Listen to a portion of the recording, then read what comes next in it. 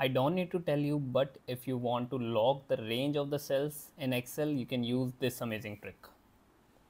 First, go to this above left corner of these headings and select all, right click on this and go to format cell. Select this protection part and uncheck this locked one and click on OK.